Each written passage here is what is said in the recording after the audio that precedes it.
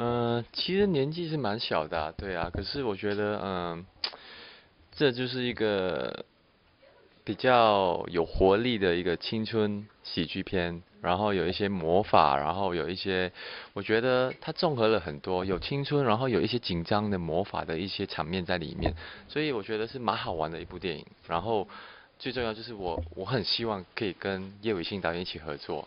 那我觉得，呃，跟他一起合作，其实自己也学了很多，然后也很开心，对。为什么会期待叶因为之前看了很多他的作品，都很喜欢啊，像叶问啊，然后我之前有跟呃甄子丹大哥一起合作嘛，对，然后子丹大哥他就跟我说，他之前有跟叶伟信导演合拍很多戏，然后他就说，假如有机会的话，他说，嗯，一定要跟叶伟信导演一起合作，对，然后。果然，我自己很开心，对。会不会期待是跟叶伟信导演合作一些动作片之类的？当然也会，对，当然也会，对啊，因为我觉得一个好的导演，他怎么去展展示他的作品，我觉得这是很重要的，对。所以呃，希望以后还有机会可以跟他合作啊，对。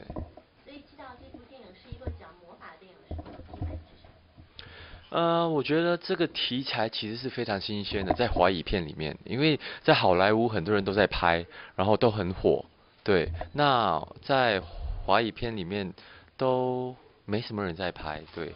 所以那时候黄百鸣老板他说他想拍这样子的一个新的题材，我自己觉得说对我来讲也是一个新的体验，对。所以啊，蛮兴奋的，对。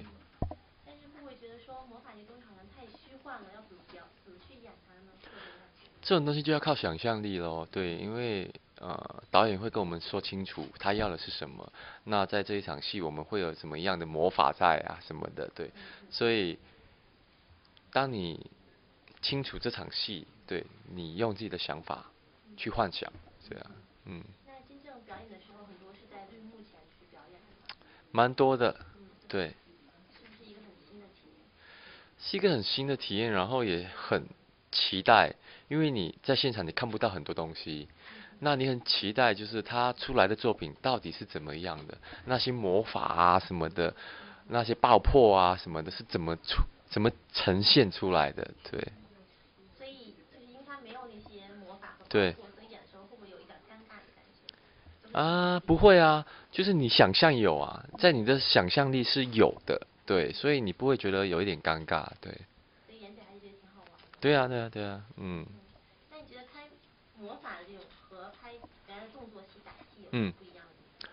呃，哦，不一样，其实是不太一样的，对，因为魔法它其实很多东西靠想象力，那武打就是你的武术的那一种啊，武打的那一种基础，其实要练得很熟悉，然后反应要很快，然后啊，你对你的兵器、武器这种东西，你都要很熟悉，怎么去应用它。是不一样的，对。所以演魔法演起来比较没有那么辛苦。啊，当然是没有拍武打片辛苦了，武打片真的是蛮辛苦的，对。那哪个好玩一点？对我来讲哦，我觉得不一样哎，对我觉得魔法是一种比较梦幻、比较比较不真实的一个东西，那武打片是一个很真实的，对。啊，魔法迷当然你都会有时候会有一种，因为我我家里在文莱嘛，那我都一直在外面工作，都很少有时间回到家里，所以你都会有一种，假如我有那一种瞬间移动的魔法有多好，我可以随时回回回家看家人，然后又随时来工作，不用浪费时间，对，都会都会都会都会有这种，比如说 Superman，对，很喜欢看 Superman，对，对呀。嗯，对，我都蛮喜欢看啊。然后最近还没拍这部戏的时候，也有看一部叫《I'm Number Four》，也是一个魔法的一个电影。对，我觉得是蛮酷的。对，然后尤其是年轻人，年轻的时候你都很想要有这种超能力。对。一般就是对魔法很喜欢或者魔法你都有一颗童心的人。嗯嗯嗯嗯，有一个童心的。就是有童心，有就是。就是。哦，我觉得每一个人，不管你年纪多大，你还是会有一些童心在吧？对啊，因为这种东西是陪着你长大的，你曾经也是一个年轻的人，所以可能你到了三四十岁，你都会想说，哎，我二十岁的时候应该做什么？十几岁的时候没做到什么？对，都会想回以前的生活。对。嗯，然后就是我们知道有黄百鸣老板在的戏里面都会有喜剧的桥段。对。开心魔法也有。也有，对，开心魔法也有喜剧，对，所以它是一个蛮好玩的一部戏。然后常常跟啊黄百鸣老板就是有对戏的时候，看到他你就会觉得说，哎，就想到以前的开心鬼，对，就觉得很好玩，很好笑，对。但是在我印象中好像你没有没有过太喜剧的演出。没有，对，呃，可以算在电影里面这是第一个吧。对，比较比较多好玩的一些东西，对。觉得自己喜感怎么样？嗯，我觉得。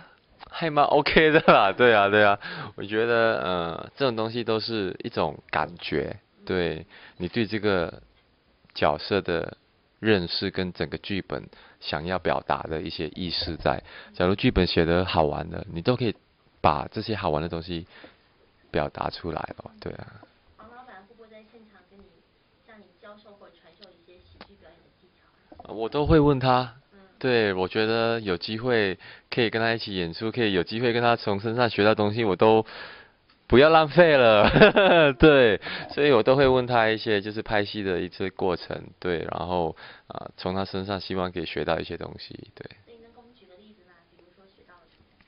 比如说我之前会问他一些，他拍《开心鬼》的时候，他跟我说他之前是写剧本的，他不是一个演员。对，然后他怎么从一个写剧本的变成一个演员，然后又演的这么好？对，这种东西都是，呃，我觉得演员就是要有那一种幻想，对，你要常常去幻想东西，去观察东西，对。然后我们还知道这个戏里面还有另外一个帅哥，就是古天乐。嗯。你们两个今天有对手戏吗？有对手戏啊，对啊。然后我觉得，因为之前都很喜欢看他的电影嘛。对，然后这一次可以一起演戏，其实心里面有一点兴奋，一点点紧张。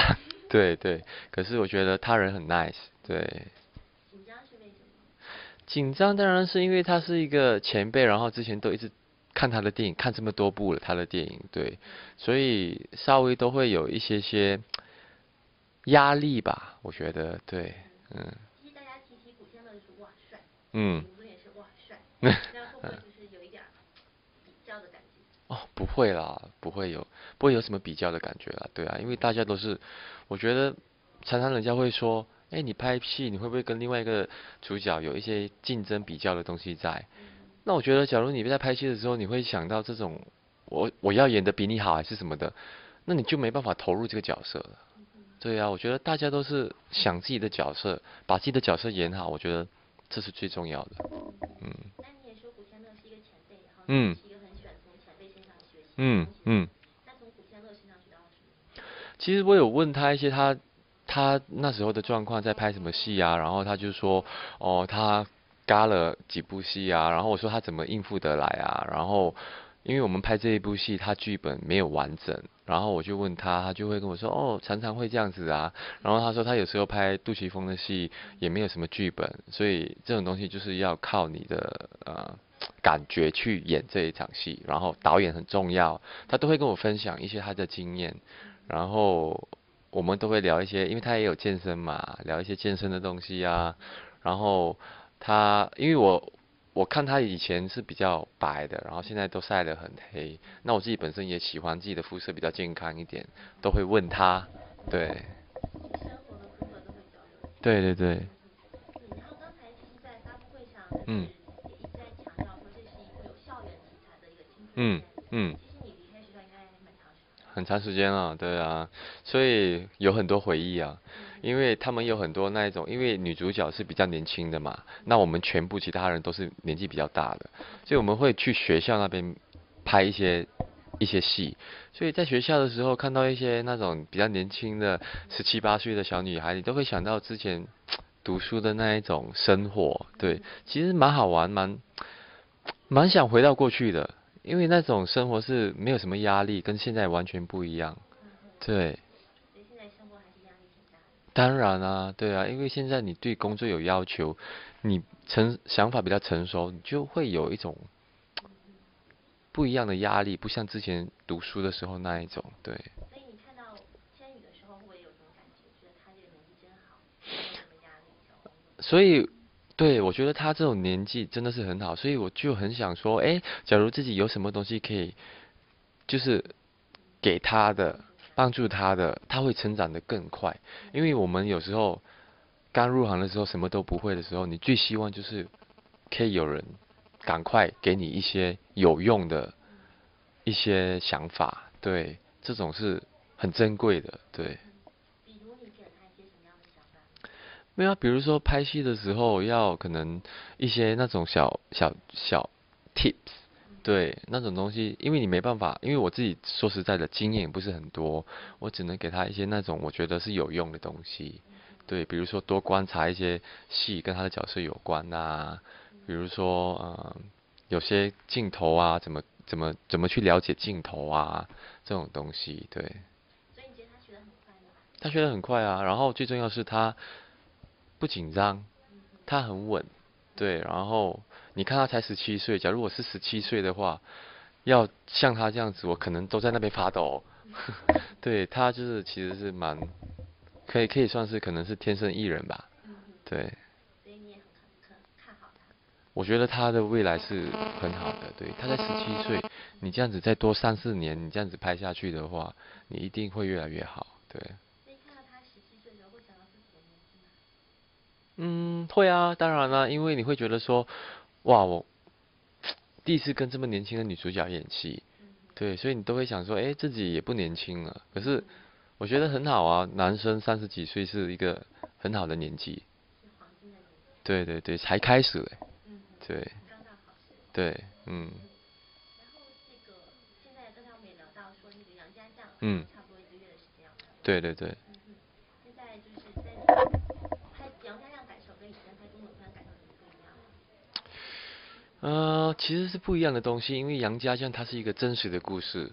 那我自己本身很喜欢这故事，我觉得杨家将他真的是华人的骄傲，他们的那一种呃父子的关系，他们的那种孝顺，我觉得哇，很很伟大。对，那我拍这一部戏的时候呢，跟之前的打戏也不一样，因为这个很多是在马的，对，所以呃拍了这一部戏，我也真正的学会了骑马，现在骑马真的是还算骑得不错，对，还可以在马上打什么的，对，是一种成就感咯，另外一种成就感，对。